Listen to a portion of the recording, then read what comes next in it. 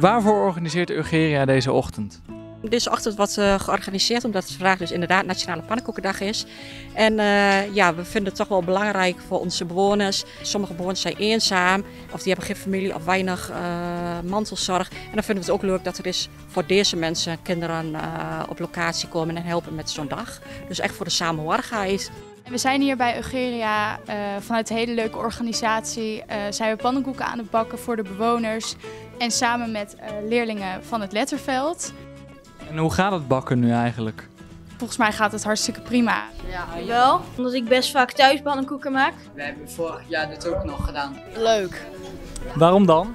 Omdat we pannenkoeken mochten eten. Ja. We hebben aan het begin de taken verdeeld.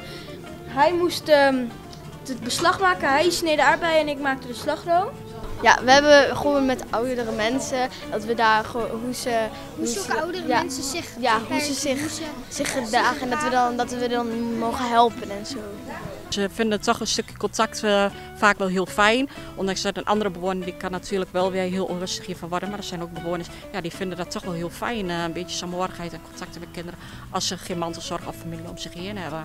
Ja, daar kun je mensen wel van opzien aan. Ik wil jullie heel erg bedanken voor deze leuke ochtend en alle gezelligheid en al jullie hulp. En ook namens de bewoners van Nigeria.